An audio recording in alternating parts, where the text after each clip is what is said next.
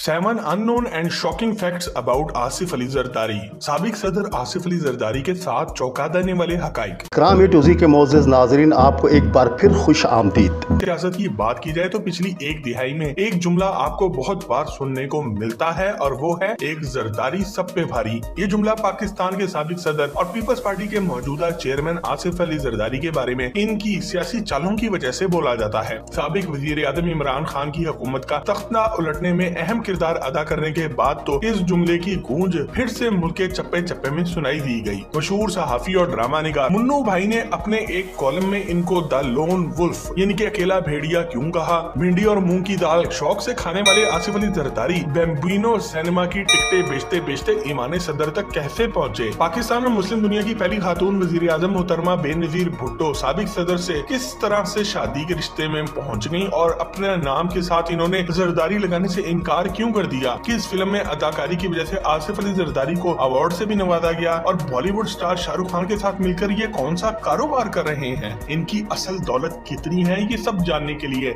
इस चौंका देने वाली वीडियो को एंड तक ज़रूर देखिएगा। और फैक्ट नंबर वन दोस्तों, आसिफ अली जरदारी 26 जुलाई 1955 को सिंध के एक जागीरदार घराने में हाकिम अली जरदारी के घर पैदा हुए, जबकि इनकी वालदा आरजा जरदारी थी। और आपको ये बात जानकर शदीद हैरत होगी कि इनकी दादी का ताल्लुक इराक से था। ये अपने वालदेन के अकलौते बेटे और दो बहनों के अकलौते भाई हैं। हाकिम अली जरदारी पाकिस्तानी सियासत का एक अहम किरदार था और जुल्फकार अली भुट्टो के बहुत करीब भी था। आसिफ अली जरदारी ने अपनी इब्तदाई तालीम कराची से हासिल की, जबकि केडेड कॉलेज पिटारो से ग्रेजुएट मुकम्मल किया। तहम, इनकी दीगर तालीमी डिग्रियों की आज तक तस्दीक नहीं हो सकी। दोस्तों, आपको ये बात जानकर ज़्यादा हैरत होगी की जो जरदारी आज अपने कदमों पर चल नहीं सकता ये अपने दौरे जवानी में पोलो और बॉक्सिंग भी खेला करता था और इससे ज़्यादा हैरान कन बात यह है कि द जरदारी फोर के नाम से इनकी एक पोलो की टीम भी थी, जिनकी ये खुद क्यादत करते थे। सिर्फ़ इतना ही नहीं, आसिफ अली जरदारी पाकिस्तानी फ़िल्म इंडस्ट्री में एक चाइल्ड स्टार की हैसियत से अदाकारी भी कर चुके हैं। इनकी पहली फ़िल्म बुरी तरह नाकाम हुई, लेकिन चॉकलेट हीरो वहीद मुराद की उन्नीस सौ उनहत्तर की फ़िल्म सालगिरह में अदाकारी के जौहर भी इन्होंने दिखाए, जिस पर इन्हें अवार्ड भी मिला। अगर आपको भी ये बात पहली दफ़ा मालूम पड़ी हो तो इस वीडियो को अभी एक लाइक ज़रूर दें। फैक्ट नंबर टू दोस्तों, आसिफ अली जरदारी को फिल्मी दुनिया से बहुत ज़्यादा लगाव था और शायद यही वजह थी कि ये कराची में अपने वालिद के बैम्बिनो सिनेमा में टिकटें बेचा करते थे। ये कभी सिनेमा के बाहर और कभी सिनेमा के अंदर टिकटें बेचते नज़र आते थे, जबकि इनके मुखालफिन ये कहते थे कि ये सिनेमा में टिकट्स ब्लैक में, यानी कि प्राइस से ज़्यादा पर बेचा करते थे और ये हर तरह की दो नंबरी में भी मशहूर थे। वैसे जरदारी कबीले के सरबरा हाकिम अली जरदारी का बेटा जब सिनेमा के बाहर टिकटें बेचेगा तो फिर ऐसी बातें तो दुनिया ज़रूर करेगी। इसके अलावा इनकी कैडेट कॉलेज पिटारो की ग्रेजुएट वाली डिग्री के बारे में भी शकूक को शुभात का इजहार किया जाता रहा है कि आया वाकई ही जरदारी पास भी हुए थे या नहीं। तमाम इनकी शोहरत किसी भी हवाले से अच्छी ना थी और इसी शोहरत की वजह से ये अपना पहला इलेक्शन भी हार चुके थे और नाकामियाँ इनका मुकद्दर बन चुकी थी और ये हर शोबे में नाकाम होते और बदनाम होते जा रहे थे। Fact number three.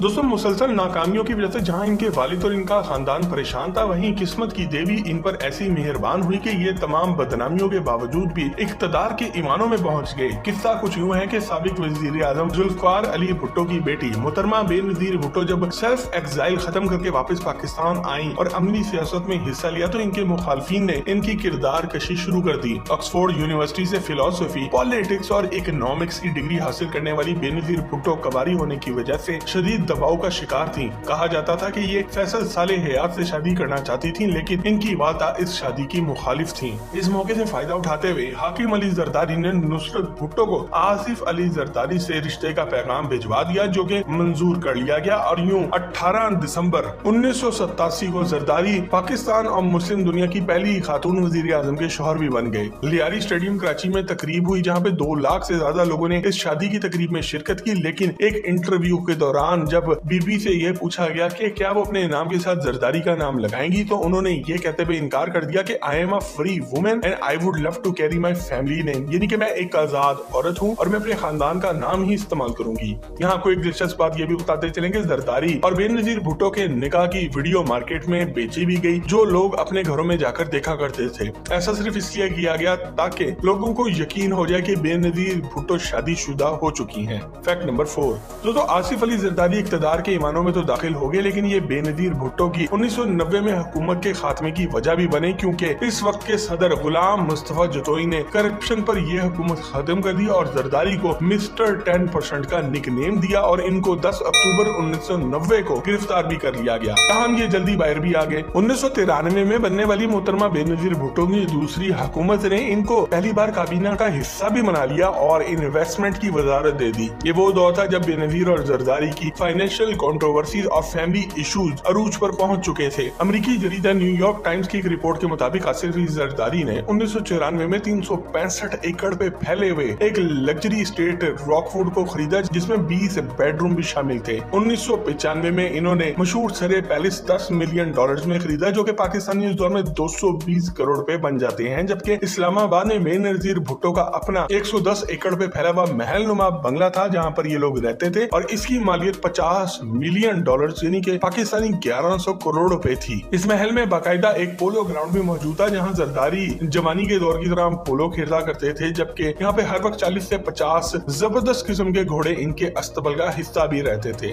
जब करप्शन पे मोहतरमा बेनजीर भुट्टो की हुकूमत खत्म की गई तो आसिफ अली जरदारी पर एक अशारिया आठ बिलियन डॉलर यानी कि पाकिस्तानी तैतालीस हज़ार एक सौ साठ करोड़ रुपए की करप्शन का इल्ज़ाम लगा था और इनको पाकिस्तान का दूसरा सबसे अमीर आदमी भी कहा जाने लगा। वैसे दोस्तों, क्या आप इस बात पर यकीन करते हैं कि पाकिस्तान का दूसरा सबसे अमीर आदमी आसिफ अली जरदारी है? कमेंट सेक्शन में यस या नो लिखकर हमें आगाह ज़रूर करें। फैक्ट नंबर फाइव तो तो जहाँ एक तरफ़ जरदारी पर करप्शन के इल्ज़ाम थे वहीं जुल्फकार अली भुट्टो के बड़े बेटे मुर्तजा भुट्टो के जरदारी से ताल्लुकात बहुत खराब हो गए थे। इतने खराब के ये दुश्मनी में बदल चुके थे। पाकिस्तान के मशहूर सहाफी और ड्रामा निगार मुन्नू भाई ने कॉलम में लिखा था कि आसिफ अली जरदारी द वुल्फ, यानी कि एक भेड़िया है और एक खूंखार दरिंदा है। सबक सदर परवेज मुशरफ ने अपने एक इंटरव्यू के दौरान इंकशाफ किया था की मुर्तजा भुट्टो ने एक बार जरदारी को अपने घर बुलाकर इसके मूछे कटवा दी थी। और सिर्फ़ इतना ही नहीं, मुर्तजा भुट्टो की जरदारी से नफरत का ये आलम था कि इन्होंने अपने घर के वॉशरूम में जरदारी की तस्वीर पेशाब करने वाली जगह पर लगा रखी थी और आए हुए मेहमानों को इसी वॉशरूम में भेजा करते थे। इसका नतीजा ये निकला की उन्नीस की एक रात मोहतरमा बेनजीर भुट्टो के दौरे हुकूमत में ही मुर्तजा भुट्टो कराची में एक पुलिस मुकाबले में अपने साथियों समेत मारा गया और इसकी लाश कई घंटों तक सड़क पे पड़ी रही। इस वाक्य ने बेनजीर भुट्टो और इनकी वालदा नुसरत भुट्टो में बहुत दूरियाँ पैदा करती क्योंकि अपने बेटे के कत्ल की ज़िम्मेदारी ये जरदारी पर डाला करती थी।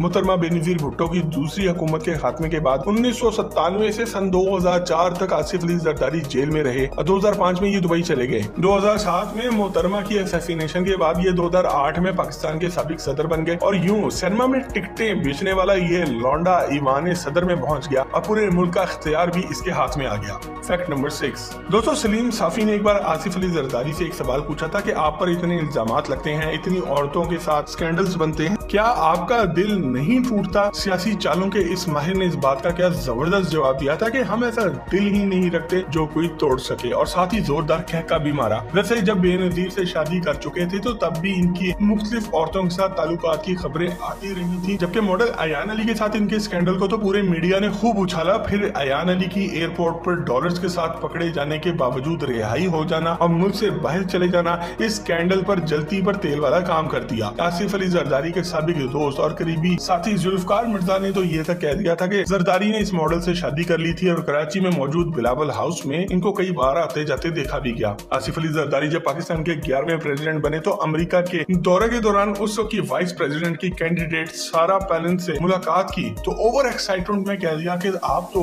मेरी सोच से भी ज़्यादा खूबसूरत है और जब हाथ मिलाया तो कितनी देर तक हाथ ही ना छोड़ा। यहाँ तक कि इनसे गले मिलने की ख्वाहिश का इजहार भी कर दिया। ये बातें सारा पोलिन के लिए बहुत ही अजीब थी और मीडिया के सामने वो सिर्फ़ मुस्कुराती रही। इस मुलाकात ने मीडिया में बहुत सी कंट्रोवर्सी पैदा कर दी और जरदारी पर शदीद तनकीद भी की गई, जिसने अमेरिका जाकर पाकिस्तानियों का सर शर्म से झुका दिया। दोस्तों, आपको यहाँ पे ये भी बताते चले की हम मोहतरमा बेनजीर भुट्टो की ज़िंदगी, उनके कैरियर के हवाले से पहले ही एक डिटेल से वीडियो बना चुके हैं, जिसका लिंक आपको नीचे डिस्क्रिप्शन में मिल जाएगा। Fact number seven. दोस्तों, कई मीडिया रिपोर्ट्स के मुताबिक दुबई के मशहूर पाम जुमेरा आइलैंड, जिसकी मालियत 12 बिलियन डॉलर से ज़्यादा बताई जाती है, इसमें बॉलीवुड स्टार शाहरुख खान और आसिफ अली जरदारी ने मिल के इन्वेस्टमेंट भी की हुई है। इसी तरह चर्चिल होटल लंदन भी जरदारी की मलकियत में एक दौर में आया करता था, जिसकी मालियत 25 करोड़ पाउंड से भी ज़्यादा थी। इसके अलावा कराची में मौजूद कई एकड़ में फैला हुआ बिलावल हाउस लाहौर में मौजूद बिलावल हाउस टू और इस्लामाबाद में मौजूद जरदारी हाउस इन तीनों की मालियत भी करोड़ों नहीं, अरबों में चली जाती है जो की इनको तोहफे में मिले थे। लेकिन क्या ये वाकई ही तोहफे थे या कुछ और? जबकि शाहरुख खान के साथ मिलकर दुबई में इनकी खरीदी गई इन्वेस्टमेंट कहाँ से खरीदी गई? बहुत से सवालों को ये बात जन्म देती है। क्या जरदारी अब वाकई ही मिस्टर टेन परसेंट है या अब ये mister one hundred ten percent बन चुके हैं? बकौल इमरान खान के पाकिस्तान की सबसे बड़ी बीमारी आसिफ अली जरदारी बन चुके हैं। आसिफ अली जरदारी जो इस वक्त ज़िंदगी और मौत की कश्मकश में मुबतला है, एक शात्र सियासतदान है या एक क्रिमिनल विलन है कमेंट सेक्शन में हमें लिखकर आगाह ज़रूर करें। और अगर आप जरदारी के बारे में कोई ऐसी बात जानते हैं जो हमने नहीं बताई तो कमेंट सेक्शन में लिखकर वो भी हमसे शेयर ज़रूर करें। आपसे बहुत जल्द एक और ज़बरदस्त वीडियो में मुलाकात होती है। जब तक अपना और अपने घर वालों का ख्याल रखें।